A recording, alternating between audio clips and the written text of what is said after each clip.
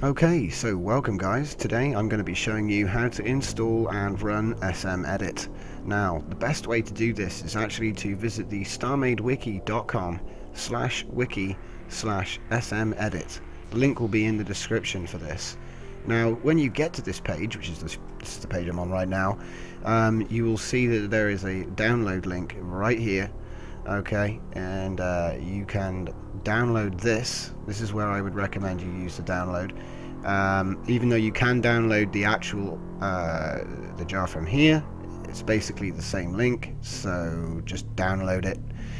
Um, the features of SMEdit you can move and rotate the core which will be covered in a uh, following tutorial paint and style which we will we will cover briefly but uh, there will be another tutorial on that as well.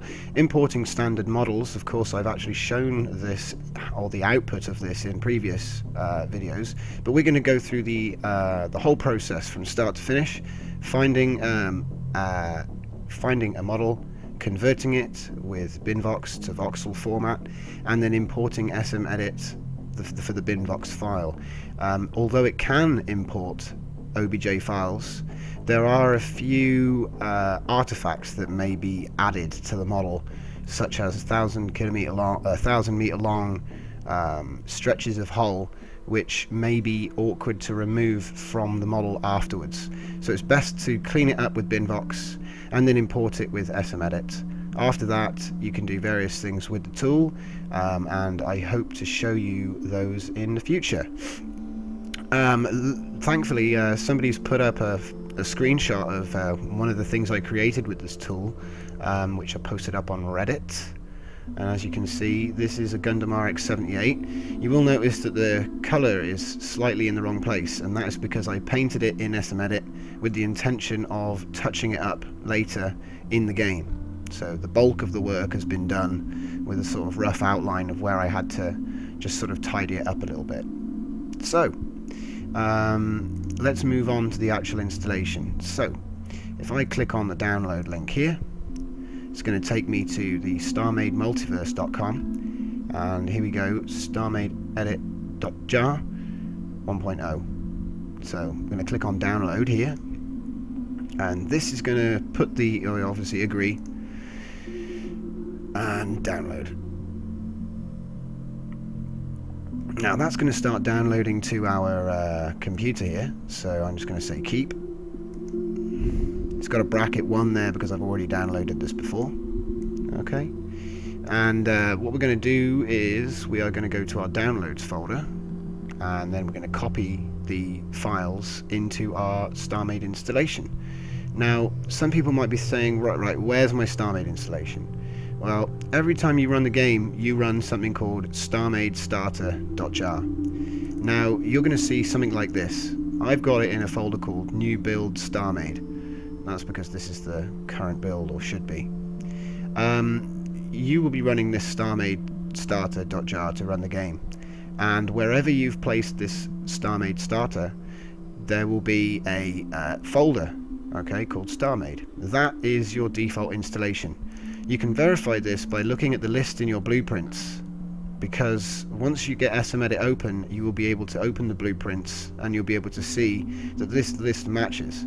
Uh, if you run multiple installations you may run into a bit of trouble like I did but I worked out uh, how to fix it and the way is to ensure that the Joe plugins folder complete with Joe file mods these are both installed by the SMEdit tool um, along with Joe SM, the executable jar file. These are all put in the correct place when you run uh, SM. Where is it now? When you run smedit.jar. So if I just take this one here, smedit.jar, if I just literally copy this and then paste it into this folder here, which is my installation for StarMade, so we're working in the StarMade folder. So all you would have had to do at this point is copy from downloads the smedit jar file and put it in your StarMade install file. Wherever that is, put it in the folder along with all of the other uh, files which are to do with the game. So once you've got that in place, and I'm actually going to remove my Joe SM here by renaming it, so just got to imagine that's not there. and then this way it won't know. In fact, no, I'm just going to I'm going to make that even easier to understand. I'm just going to literally move this and this out of the directory completely. And I'm going to put them on the desktop. So they're going to go. Right, there we go. So, right now, all it's got in here is SMEdit. So we're going to double click on that. It's going to say there's a new version available because it can't see anything there. We're going to say yes and then that is going to download the JoeSM executable jar file and run the uh, program. And this is SMEdit. You'll see down at the bottom there's a little memory indicator and then we've got the main menus up along the top here. I'm just going to resize it a little bit. There we go. Now I'm not going to go into this too much right now, but I'm just going to show you something. If I click modify, you get a grey area. And this grey area means that it can't find Joe plugins. And as you can see here, they've not been installed. So um, what you need to do is effectively uh, copy them from another folder. And you say, where are you going to get them from? Well, they're downloaded by this SM edit, okay? So what I actually ended up doing was I created, because it wasn't creating my folder in the correct directory, what I did was I created a, a fresh installation into which I installed uh, it again. And this time I got the folder, and there's my plugins. But it still wouldn't load them because this isn't seen as the primary installation. So I take the Joe File Mods uh, folder in its, you know, in total, and I take it back to my primary installation. Obviously, if you've only got one install, none of this applies to you. All you had to do was run smedit, and it will put the files in place. But this is a reason why Modify is grayed out. So, Control V, make sure you've got Joe plugins in the correct folder. And this is how you would verify that. Double click Joe SM, so SM edit, and then go to File, Open. When you see in File Open, you'll see Blueprints. Inside Blueprints, you'll see all of these. Now, uh, with my alternate S, my SM Edit installation, if you look in blueprints, there's nothing in there but the but the default. So of course you know that this isn't looking at the second install, because of course there's no blueprints there. However, if you look in the primary install, the list matches. Okay? So that means we know we're dealing with the right installation, we know that we put the plugins in the right folder, and as a result the modify menu will work. Okay? So that means everything is working. The only way I check that everything's working is just like up. And if modify is there it should have loaded everything. So we're going to close that there. And I'm just going to go through that one more time just in case I uh, went too quickly or anything like that. So we download smedit.jar we copy smedit.jar from our uh, from our install from our downloads folder into our StarMade installation folder. The StarMade installation folder is found in the same directory as your starter application. If we go inside here, you will need to double click on SMEdit and if it runs without asking to update, you have the current version. If you then click on modify and you see this menu, everything's gone fine. If you don't see this menu, you need to verify the Joe plugins folder is in place and contains Joe file mods. Now, you can still use all the features of uh, uh, of SMEdit without needing to install the plugins. However, certain features such as Holo, Export OBJ, fill, move, reflect, rotate the ship around the core, and scale the ship's size, along with uh, generating hulls and importing binvox and OBJs. None of that can be done. What you can do, you can view it without any textures. You can view the axis, so you can see the X, Y, Z on the ship. Um, you can, in here, you can say view all, which is what we're looking at now. View power, which will only show you the power in the, in the uh, ship. View engines, which only shows you the engines.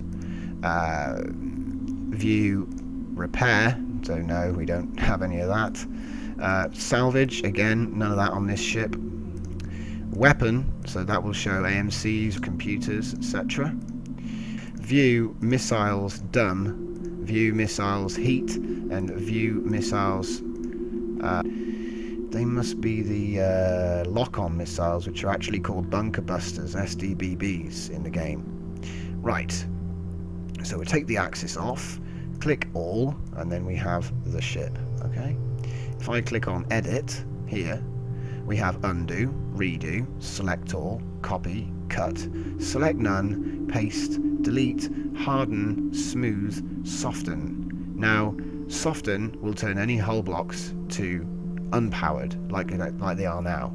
Harden will turn all of the blocks to hardened hulls, as you can see here, which is very useful for turning an entire ship to hardened. Smooth actually adds wedges. So as you can see, it's taken the rough edges here and it's tried, it's attempted to add wedges to smoothen the design out. So that's very useful. Um, other than that, we have open, which is opening our blueprints, turrets, stations, shops, planets, and rocks. Okay, so that's really useful. Um, we're just going to say cancel there. Open file, which means we're going to look outside of the uh, standard installation path. Again, open file, this will show you your installation path as well. Long as you know roughly where it is, of course. Um, save will save this current blueprint that you're working with. Save as, you can say a blueprint because it's new, for example. Default blueprint, which would put it in with all of the pirates' ships. And then file, so that would be for exporting, I believe. Um, but I'm not, not entirely sure. I've never used the file, so let's have a look here. Star Made ship file, there you go. I tend to only use blueprint though my, myself. Um, I'm not going to look at export images because it seems to be pretty self... In fact, no, I will look at that, but not right now. We'll come back to it. Exit, obviously exits. Now, if I choose here, we've got paint blank. So if I go paint red, we have a radius set to 1. If I right click, I can paint in red however I want. Okay? Um, if I now go undo, it'll put everything back to how it was. So, completely reverses everything I did. Except for the hardened hole, funnily enough, actually. It reversed all the block changes, not the type. So, uh, obviously I can choose a higher radius if I want, so I could put a giant purple bit on there. Um, you can also use clear to clear the selection. So now it's, it's blank again. It won't actually paint anything. You can go select all. You have to choose the color first. So choose the color and then click all. And that'll change the ship to one color. Additionally, there are mods. So I'm just going to undo again to go back. If you look inside mods here, we've got replace. Okay. So color one, black. Color two, white. So let's have a look and it's converted all the black box to white. White, pretty self-explanatory. Okay, if I go to mods, stripes, then what we're going to have here is you've got your x-axis, your x-width, x-width 2. So let's just have a look at some of these and see what we can do to change them. So remember it's x, y, z, color 1, color 2. So I'm just going to literally, you should always experiment with all the options. It's not going to hurt, so if I'm going to say uh, true to the x-axis, and then we'll just say black and white. Okay. And as you can see, we've got a black and white stripe design on the x-axis. So, let's have a look at what else we can do with that. If I change this to 5 and 5, we've got a far much different design. And you'd think, well, what's the, what's the use in that? So, let's just continue. And I'm going to go with 8 and 8. Okay, now we're getting somewhere. So if I just go to, say, 9 and 9, I reckon we should get it split down the middle. Uh, no, because it's of course this is an unevenly, uh, it's uneven, it's odd, odd symmetry on this ship. So anyway, I can do it the other way perhaps. So let's just take this back to 1, 1, and then false, and then we're going to go with the Z this time, so we'll go the other way, and we'll go with 8 and 8 just for say. And then we've got it split down the middle, which is nice. Another little trick which somebody uh, brought, which somebody told me, I think it was actually Joe told me this one. If you go stripes and then you turn false, true on the Y, false, the Y is obviously up down, okay? Uh, Z being forward back and X being left right, so it's just one, you know, like just like that. Anyway, we'll cover that in more detail. If I go 8 and 8, Alright, I think that's going to actually be too much because the ship is only 1, 2, 3, 4, 5, 6. So let's say 4 and 3. And then instead of black and white, we're going to use blue and white. Okay. Ah, still did that wrong. Back to the stripes. I put the numbers in the wrong place. 1 and 1, 4 and 3. Bang. Oh, see, my maths are just slightly off. So let's just cancel. Let's just go back. And mods and stripes. Okay. Four and four, say. I could have sworn that's correct. There we go.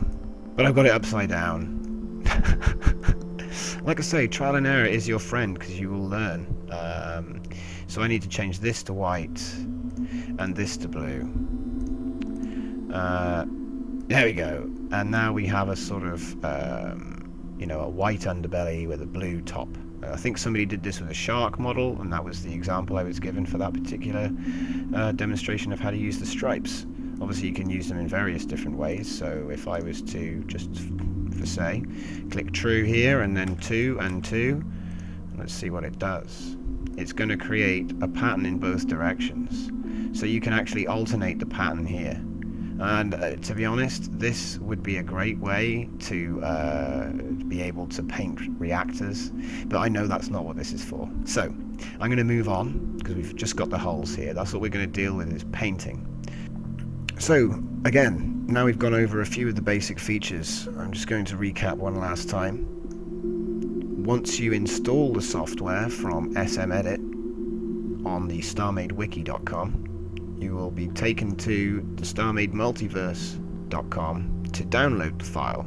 This file must be placed inside your uh, StarMade installation folder, okay? And you must bear in mind if you're running multiple versions, for example, so you can connect to old servers, you will actually need to install SMEdit to your main installation. I've already showed two ways to check which is your main installation as far as SMEdit is concerned. Easiest way to get around it is simply to install SMEdit into every single installation you have, but to be honest, you only need the Joe SM in the root folder and the Joe plugins folder if you want to use things under the modify menu. So that's pretty much it for uh, uh, basic use. Um, I'm going to come back to each of the features and cover them in uh, later videos.